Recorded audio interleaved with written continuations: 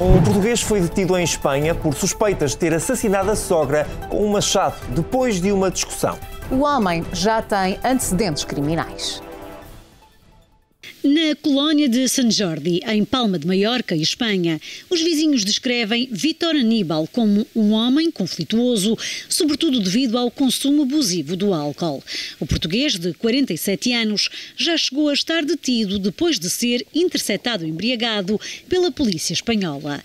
Mas apesar dos antecedentes, foi com surpresa que assistiram ao desfecho trágico esta quarta-feira à noite de mais uma discussão entre o homem e a sogra.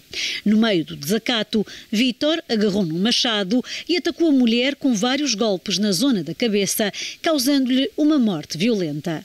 O crime aconteceu na casa de campo onde a vítima, Érica, uma cidadã suíça de 74 anos, morava com a filha e o genro português. O casal estará separado, o que pode estar na origem da discussão fatal. Os vizinhos, que se aperceberam do confronto, acionaram a polícia e a Guardia Civil.